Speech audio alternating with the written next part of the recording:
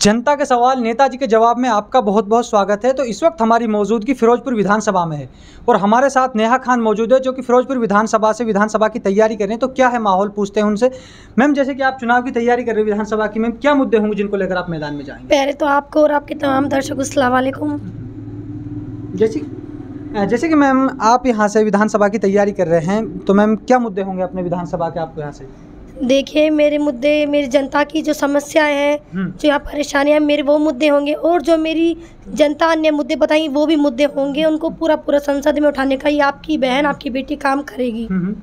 Ma'am देखिए जैसे कि आपके यहाँ से फिरोजपुर विधानसभा की सबसे बड़ी समस्या है रोज़गार और शिक्षा मैम खास करके शिक्षा पर आपके क्या मुद्दे होंगे शिक्षा को लेकर कैसे काम करोगे देखिए शिक्षा में बहनों का तो का क्या ही कहें पहले तो भाइयों की बात कर लेते हैं हाँ, हाँ। हमारे जो युवा भाई हैं वो भी आज के टाइम में शिक्षा से बहुत पीछे हैं हम्म। उनको ये नहीं पता कि विकास क्या होता है हम्म। कैसे पढ़ा जाता है क्या उनके मुद्दे रहेंगे पढ़ाई के। क्योंकि आज के जो कैंडिडेट रहे अब आज से लेकर अब तक उन्होंने कभी यहाँ के विकास के बारे में और कभी शिक्षा के ऊपर ध्यान नहीं दिया।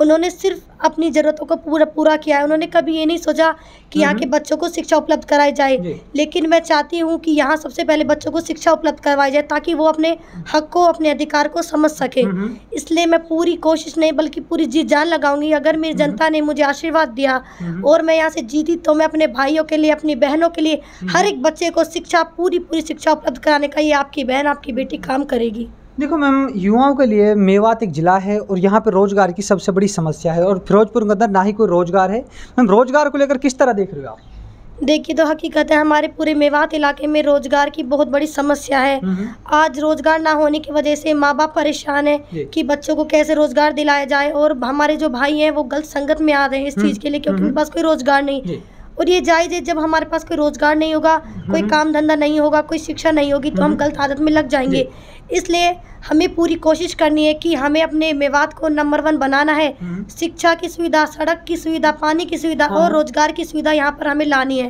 ताकि कोई भी बाहर ना ठोकरे खा सके बल्कि अपने इलाके में रह के इन सुविधा को हम पूरा कर सकें देखिए जैसे कि मैम यहाँ के युवा हैं जो बाहर पढ़ने के लिए सीकर जा रहे हैं या फिर गुड़गांव जाते हैं तो मैम उनके यूनिवर्सिटी के लिए मैम आपकी क्या सोच रही है देखिए मैं चाहती हूँ कि यहाँ यूनिवर्सिटी आए हम्म। ताकि जो हमारे भाई बाहर पढ़ने के लिए जा रहे हैं किसी किसी की इतनी वो भी नहीं होती औकात बेचारे की हाँ, हाँ, पैसे की मजबूरी हो जाती है कि वो बाहर नहीं जा पाते हाँ, लेकिन किसी बच्चे में जुनून होता है कि वो पढ़ाई के लिए कुछ भी कर सकता है हम्म। तो उनके माँ बाप के पास चाहे वो बेचारे कर्ज ले लोन हम्म, ले अपनी। जो भी ज़मीन है उनको बेच देते हैं अपने बच्चों की।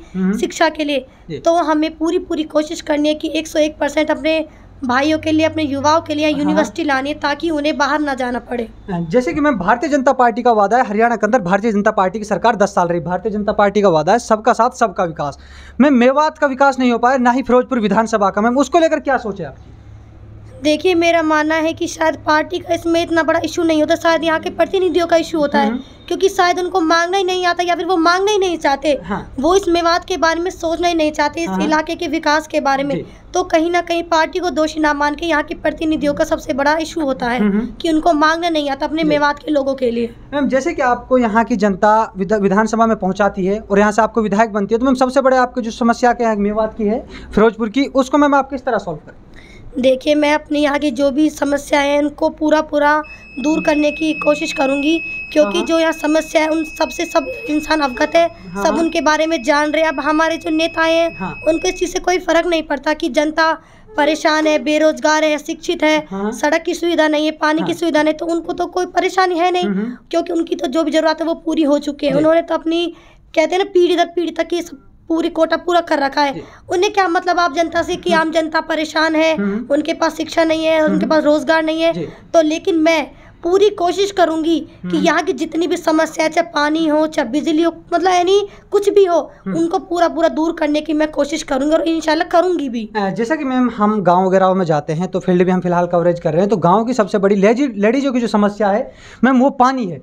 और पानी के लिए वो हमसे बोलते हैं कि भाई साहब जो भी नेता आते हैं हमसे वोटिंग के सब टाइम नारे वादे होते हैं और हमसे इस चीज़ के बारे में कहा भी जाता है लेकिन वोटिंग होने के बाद वो लोग दिखाई नहीं देते। मैम उसको लेकर आप क्या कहना चाहोगे? देखिए ये बात आपने हकीकत बोली कि लेडीज़ों की सबसे बड़ी समस्या पानी है। हम्म। मैं भी अपने फ़ील्ड में जा रही तो वो बोल रही है बहन हमें सब कुछ मत करवा हम्म। लेकिन जो हमारी पानी की समस्या उसको दूर करो क्योंकि पानी ही जल है जीवन है हम्म। क्योंकि आज के टाइम में पानी की सबसे बड़ी समस्या है हम्म। तो मैं ये चाहती हूँ कि पानी की समस्या को पूरा पूरा दूर किया जाएगा मैम हमारे चैनल के माध्यम से आप अपने मेवात इलाके के दर्शकों को क्या कहना चाहेंगे किस तरह आप पर भरोसा जताएँगे मैं अपने दर्शकों को यही मैसेज देना चाहती हूँ कि वो अब की बार जो वोट दे वो बदलाव के लिए दे हम्म। क्योंकि हर बार उन्होंने हर नेता को अपन देख लिया आजमा के हर पार्टी को आजमा के देख लिया हाँ। लेकिन इस बार मेरी पूरी आवाम से यही अपील है कि वो नए हम्म। नए प्रतिनिधि को वोट दे और बदलाव के लिए वोट दे ताकि वो उनके लिए जी जान से उनके हक हुकूक की लड़ाई लड़ सके और इस मेवात को नंबर वन मेवात बना सके तो ये है हमारे साथ नेहा खान जी थी जिन्होंने अपने फिरोजपुर विधानसभा से विधानसभा की तैयारी कर रहे तो देखते रहिए हमारे चैनल